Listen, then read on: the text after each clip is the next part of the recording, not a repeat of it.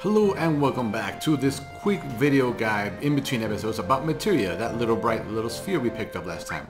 So in Final Fantasy VII, your spells are used through materia, these little spheres you pick up around the world or that you buy in shops. Each one has a little thing and has levels as you can see by the stars. As it levels up, it gets better abilities as in Bolt 1, 2, and 3, or Cure, Cure 2, Regen, and Cure 3.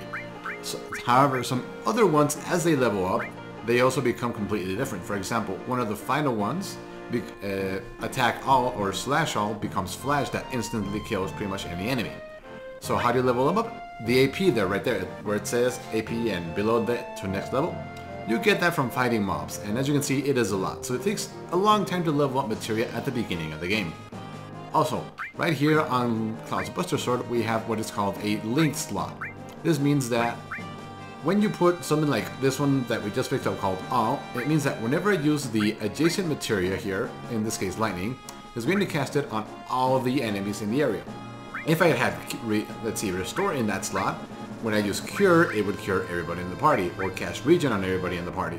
Or if you have, say, revive, it would revive everybody that is currently down.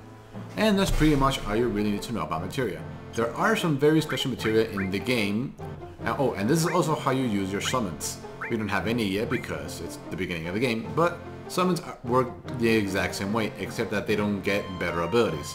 However, when a materia reaches level 4 or 5, whatever its level is, it actually splits off into a second materia that is identical to the first, but level 1 with 0 AP. That is how you can get multiple of the same materia, so you can have, say, 3 Bahamut materia if you really wanted it to and that's how you level them up.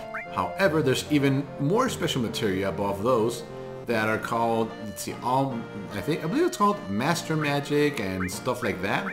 Those materia, you can only get once you have a max level materia of every other materia in its category, and that one materia has every spell within its category inside it.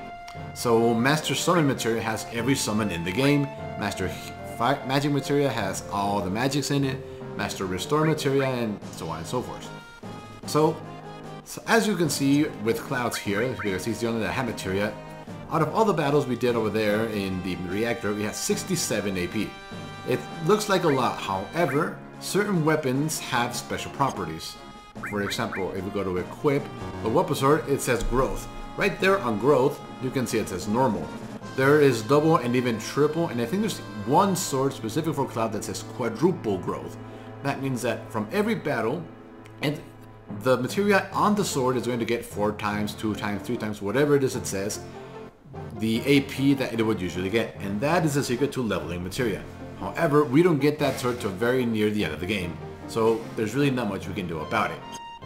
So with that out of the way, I hope that gives you a quick understanding of how materia works.